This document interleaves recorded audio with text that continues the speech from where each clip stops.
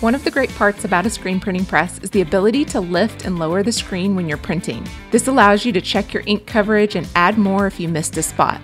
When you're screen printing light colors on dark fabric, you can even dry the ink between coats, which will give you a much brighter print.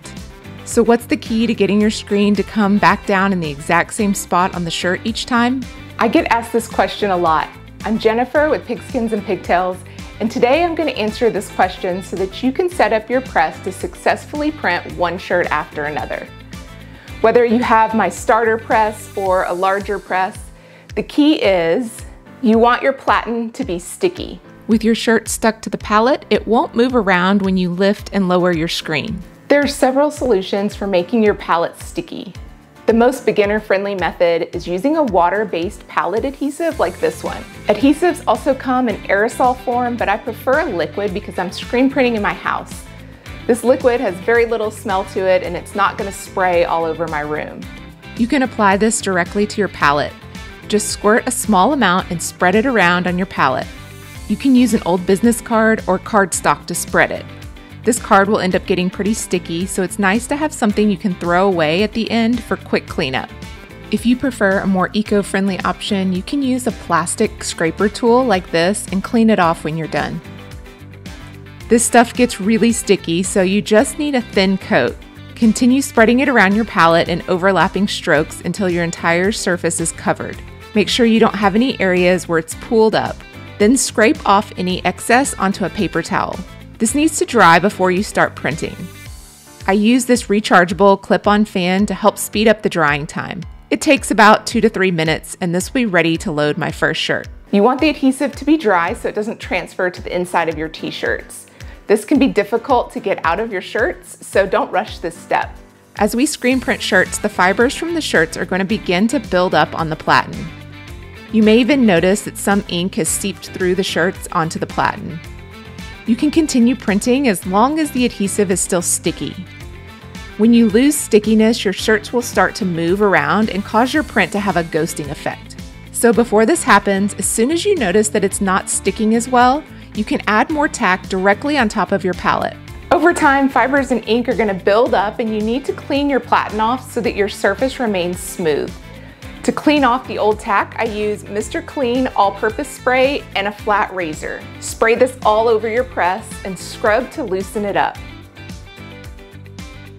If you have any areas that won't come up with the spray alone, you can use a flat razor to scrape off any of the excess tack. If you're doing a lot of printing, this cleanup can get tedious, so there is a quicker way. You can use pallet tape on your press. For best results, you want a tape that is wide enough for your pallet so you can cover it in one solid piece rather than overlapping. Just roll out your tape over your clean platen and then smooth it out to get rid of any wrinkles or bubbles. Then you can cut off the excess around the edges. I use a sharp knife and go around each side. Now we can put the pallet adhesive on top of the tape. Spread it around evenly until you have a thin coat. Let that dry and you'll be ready to start printing. When it's time to clean your press, you can just peel that tape up. This comes off in one piece and you have a clean pallet. Apply more tape and tack and you've saved some time.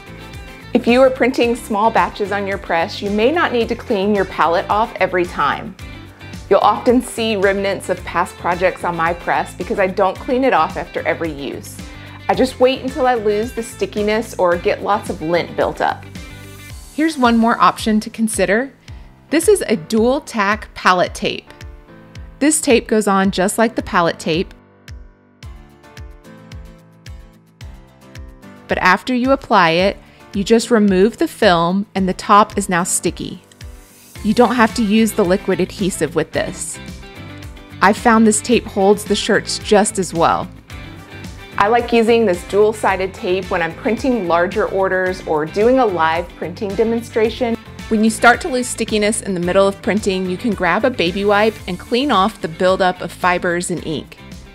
By the time I grab my next shirt, it's sticky again, so I don't have that downtime waiting for the adhesive to dry. I did 250 shirts recently, and after printing that many and cleaning it off several times, I noticed that some of the stickiness started to come off. When this happens, just peel the tape off and start with a fresh piece. So whether you use a liquid adhesive or a dual tack tape, the key is to keep your platen sticky so your shirts don't move while you're printing. I hope this video helps you in getting the most out of your screen printing press. Be sure to subscribe to my channel for more tips on how to use your screen printing press.